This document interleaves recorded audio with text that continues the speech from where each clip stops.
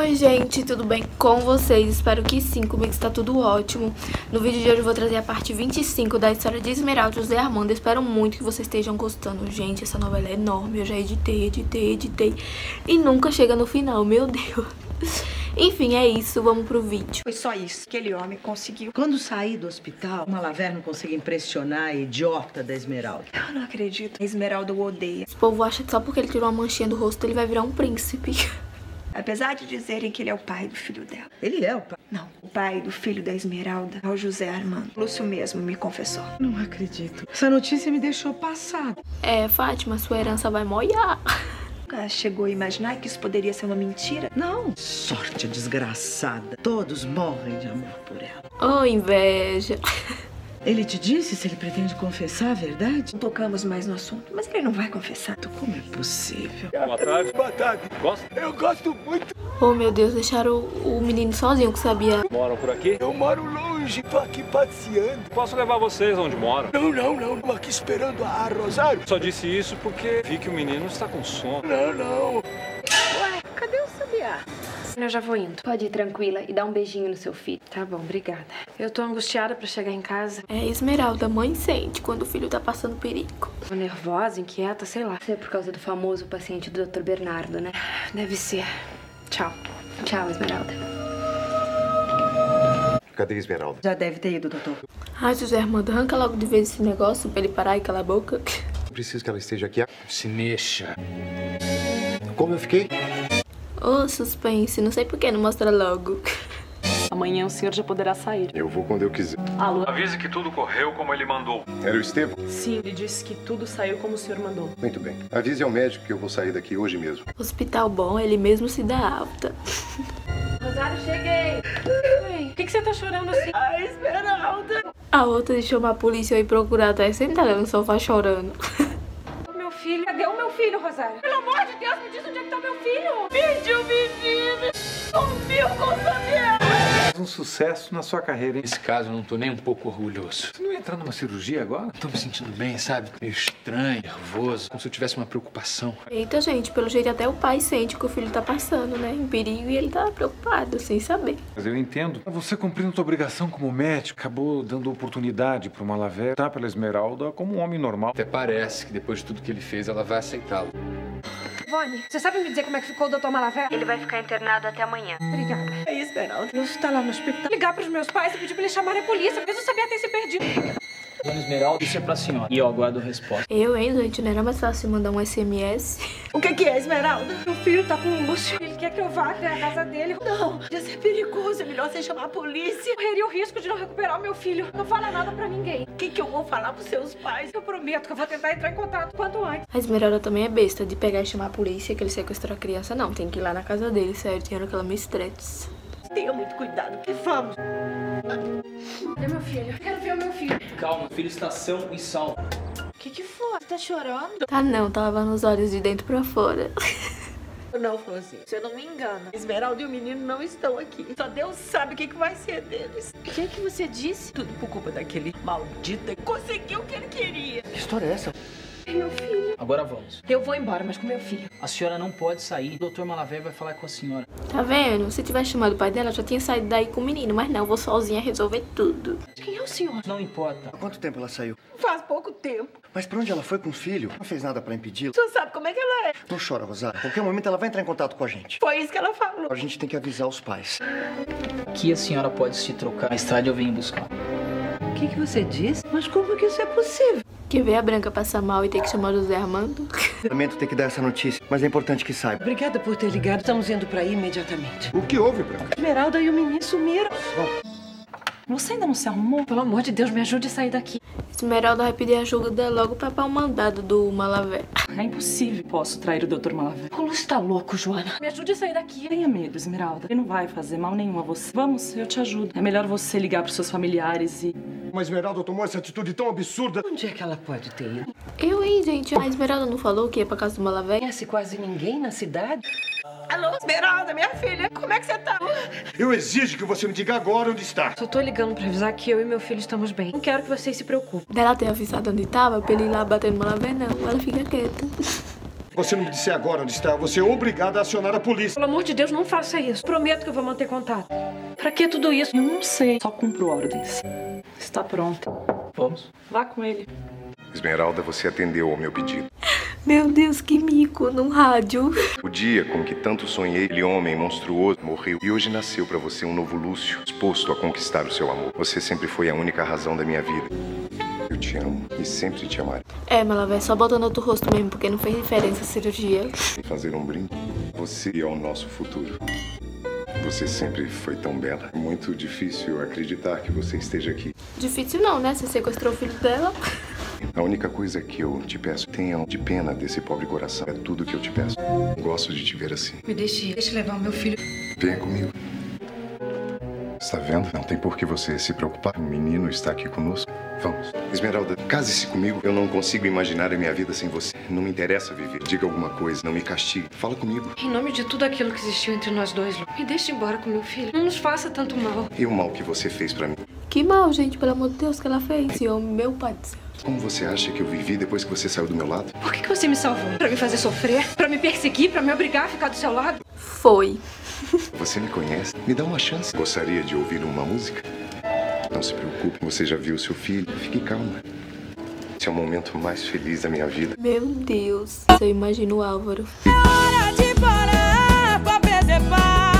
Me diga que você também está feliz do meu lado. Esmeralda, eu te amo. Precisa descansar. Vamos ver se eu consigo. Não disse que ela ia passar mal? Depois eu passo pra te ver.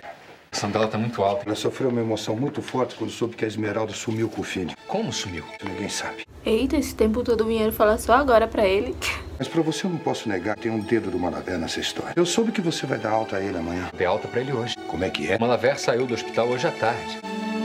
Por favor, Esmeralda, não chore. Não gosto de ver você sofrer. Se não gosta, só deixa ela embora. Vixe, já me deu uma raiva. O que, que eu posso fazer? Me deixe. Peça o que quiser, menos isso. Você tá me aprisionando. Já raptou meu filho. Tudo que eu queria era ficar um pouco com você, ao menos essa noite. Tô aqui como você queria. Pelo amor de Deus, me deixe. Esmeralda também faz os gostos dele e tudo. Era só chamar a polícia e já era. Tava tudo resolvido. Mas... O que eu vou te dizer agora, eu vou repetir no dia da minha morte. Nós vivíamos num mundo de sombras. Eu pensei que a nossa vida ia ser sempre assim. Eu tinha você, não precisava de mais nada. Nunca imaginei que o José Armando ia atravessar o nosso caminho. Pensava que eu era dono da sua vida. Mas eu estava enganado. Nada disso aconteceu. E foi por isso que você abusou de mim. Meu amor, não chore. Não sou esse canalha que você pensa. Deixa ir, Lúcio. Não me atormente, mãe. Causa tão mal assim? Tudo bem, lhe dar a liberdade. Mas antes eu quero te pedir uma coisa. O que, que você quer? Eu quero você. Tô dizendo, gente, que ele é doido. Uma hora ele tá de boa, do nada ele surta, assim.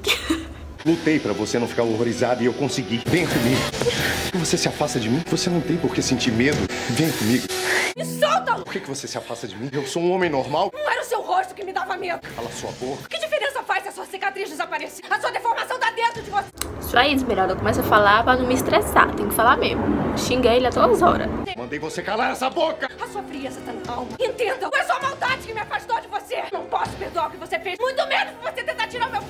Vai ser minha, mesmo que você não queira. Nunca vou ser sua! Você vai ser obrigada a viver comigo. Então eu vou tomar o menino. Vai! Sempre consegui tudo o que eu queria. E agora o que você pretende? Pelo amor de Deus, não! Te obrigar a me amar. Me solta! Vou te obrigar a me amar, Esmeralda!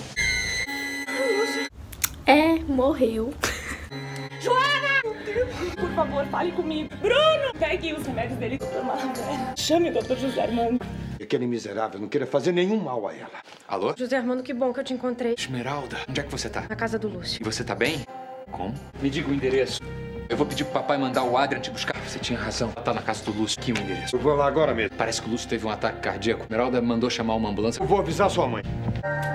Esmeralda, meu filho. Eu passei por um momento tão horrível. Passou porque quis. Era só ter chamado seu pai que você não passava. Mas não, queria resolver tudo só. Calma, já passou. Graças a Deus. Vou botar ele pra dormir.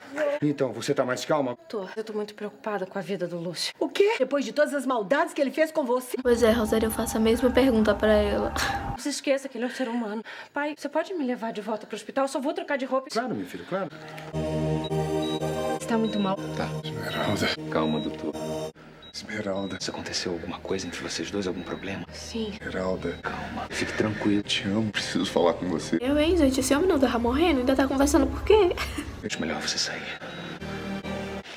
Como ele está? José Armando me pediu pra sair. Ele não para de chamar o meu nome. O que houve quando você esteve na casa dele? Parecia um louco, Ivone. Esperava que eu correspondesse ao seu amor. Ou disse que ia tirar o meu filho de mim. Tinha uma alegria perversa e agora tá assim. Uma vez eu estou entre a vida e a morte. Ah, Calma. vou morrer, doutor. Tente se acalmar. Como eu posso me acalmar? Eu sei que eu não tenho remédio. Minha vida inteira foi uma grande ironia. Eu pensei que estaria com o mundo nas minhas mãos. Pra que todo esse esforço? Pois é, se operou ontem vai morrer hoje. Oh, meu Deus.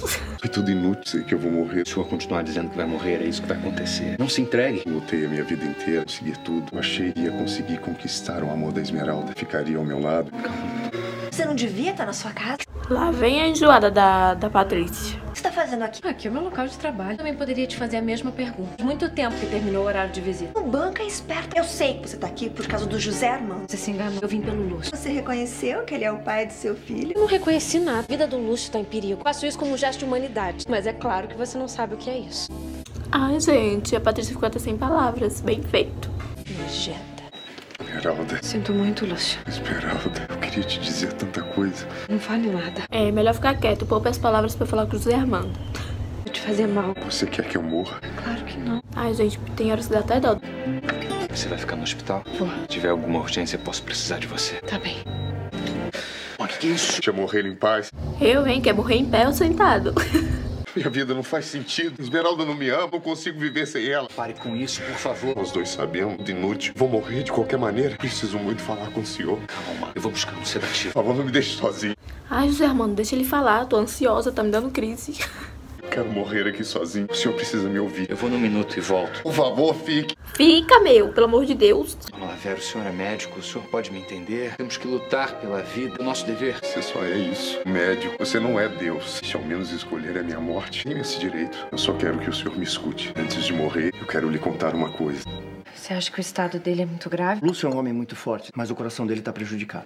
E o Álvaro já tá aí atrás da Esmeralda. O infarte que ele sofreu foi muito violento. Vai ser muito difícil ele se recuperar. Eu me sinto culpada. Você ainda não me disse o que tava fazendo na casa dele. Te contar tudo o que aconteceu. Eu tinha perdido. A hora de morrer é a hora da verdade. Isso aí, Malavé, conta logo a verdade que eu tô ansiosa.